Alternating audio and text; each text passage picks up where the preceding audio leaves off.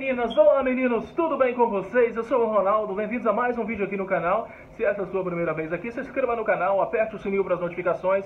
E claro, não esqueça de deixar o seu comentário, que é sempre importante. O Ronaldo sempre responde, dá coraçãozinho para todo mundo também, meninas e meninos. Aproveitando, né, como sempre, avisando para vocês que o link do meu Instagram e dos meus outros dois canais estão aí debaixo. Conto com vocês para se inscreverem lá, comece a me seguir no Instagram, me envie uma mensagem lá que o Ronaldo responde sempre, tá bem, meninas e meninos? Bem, no vídeo de hoje eu vim trazer para vocês duas notícias, gente, notícias que realmente me impressionaram quando eu fiquei sabendo, né? Porque não é qualquer dia que você vê um homem de Deus, um padre morrendo ao vivo hum, pela internet. É muito triste realmente, né? Me partiu o coração quando eu fiquei sabendo essa notícia. Mas eu acredito que ele né, está com o Papai do Céu hoje, né, porque, gente, faleceu fazendo aquilo que com certeza ele mais amava, né, que era falar do amor de Deus, do amor de Jesus para as nossas vidas. Não é isso, meninas e meninos? Ai, gente, eu gostaria de, né, às vezes eu fico pensando, meu Deus, eu vou passar essa notícia, mas, mas eu tenho que passar, porque os outros canais não passam. Também vou falar sobre o padre Fábio de Mello. Gente, o Fábio de Mello arrumou uma confusão essa semana na internet. Ai, ai, ai, tem uma história de um filho aí do Fábio de Mello. Olha isso, gente, olha isso. Bem, pessoal, vamos então às notícias, né, gente? Eu vou trazer duas notícias para vocês nesse vídeo, né? E as duas envolvendo padres, né? Infelizmente, um deles veio a falecer. Eu vou começar então com a notícia mais triste, né? Que eu gostaria realmente de não estar aqui passando para vocês, mas alguém tem que falar, né, meninas e meninos? Um padre da Igreja Católica morreu depois de passar mal enquanto celebrava uma missa transmitida ao vivo pela internet, na capital econômica da Costa do Marfim, na África. De acordo com a Association for Catholic Information Africa, Jansen Simbaio, uh, ele chegou a ser socorrido, gente, na última semana, né, quando aconteceu essa tragédia, mas morreu alguns dias depois por complicações cardíacas. Como a celebração era feita ao vivo, o momento em que o pároco passa mal, seus últimos minutos fora de um hospital, foi registrado em vídeo que circulou o globo nos últimos dias. Nas imagens, ele aparece normalmente no púlpito, mas parece começar a se sentir mal e cai no chão. Tudo em questão de segundos. Eu não vou colocar as imagens de vídeo aqui por causa de direitos autorais. Eu vou colocar a foto dele para vocês conhecerem e se lembrarem um pouquinho do padre Jean.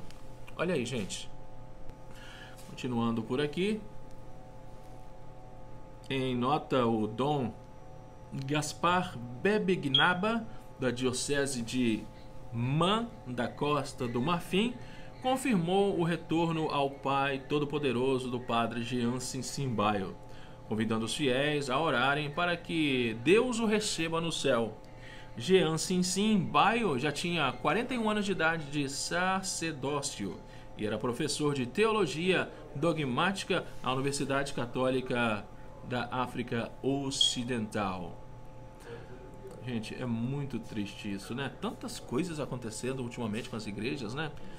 Apesar do mal-estar se tornar viral, Jean Simbaio acabou envolvido em uma confusão após sua morte.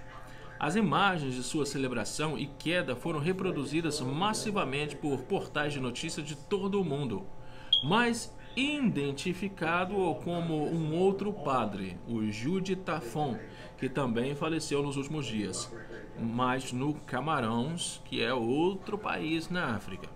O esclarecimento foi feito na última quarta-feira.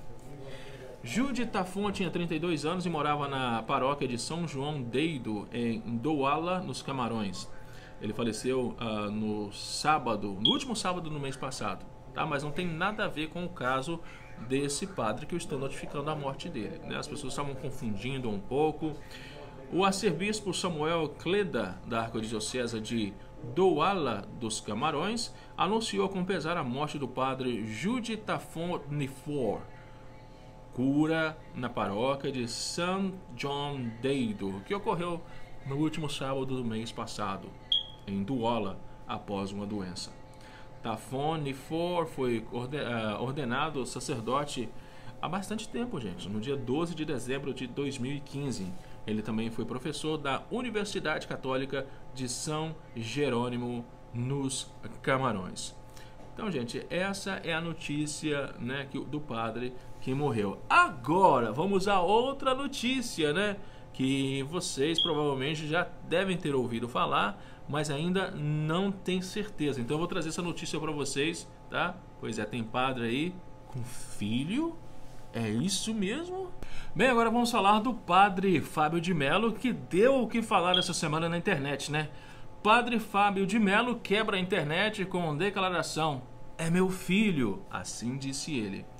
Eu vou explicar exatamente para vocês o que está acontecendo, gente. O Padre Fábio de Mello é uma das figuras mais presentes no Twitter. Twitter, que é um, né, como o Instagram, assim, com mais de 8 milhões de seguidores. Fábio de Mello costuma fazer muitas postagens diariamente interage com outros famosos, como o jornalista Evaristo Costa, e também com seguidores anônimos.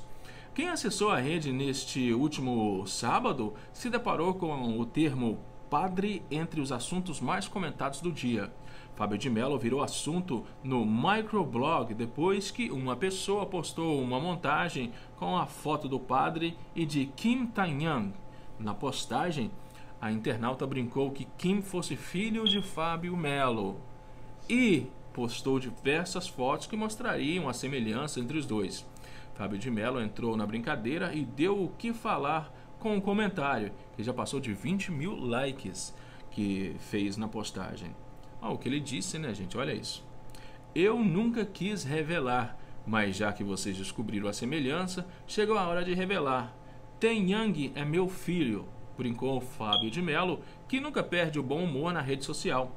O padre ainda interagiu com muitos outros internautas para falar sobre o assunto. Vou até deixar foto dos dois aí. Vocês acham que realmente eles são parecidos? Nem tanto, né, gente? Sei lá. Deixa aí nas opiniões. Bem, quem é Kim Tae-young? Kim Tae-young pode não ser conhecido do grande público brasileiro, mas tem milhares de fãs em território nacional. Ele é conhecido pela carreira musical e adotou o nome de Vi, da letra V. Além de cantar, o sul-coreano também é ator. Ele construiu a carreira no grupo BTS, que é um daqueles grupos jovens, né, que muito sucesso, né, que né, já foi até o Brasil, né, fazer show, essa coisa toda. Esse BTS é como se fosse um dominó, um dominó ou um grupo polegar dos dias atuais, mas eles dançam também e dançam muito bem. A música sul-coreana tem tido grande espaço no país e atrai muitos jovens. O BTS, por exemplo, lotou o Allianz Parque, estádio do Palmeiras, em São Paulo, em junho do ano passado. Bem, essas foram as duas informações. Infelizmente, a morte aí do padre africano e as declarações, né, que acabaram sendo brincadeiras, né, do padre Fábio de Mello. Deixa aí nas suas opiniões, né? Eu quero ver o que vocês acham sobre isso tudo. Um grande abraço e até o próximo vídeo.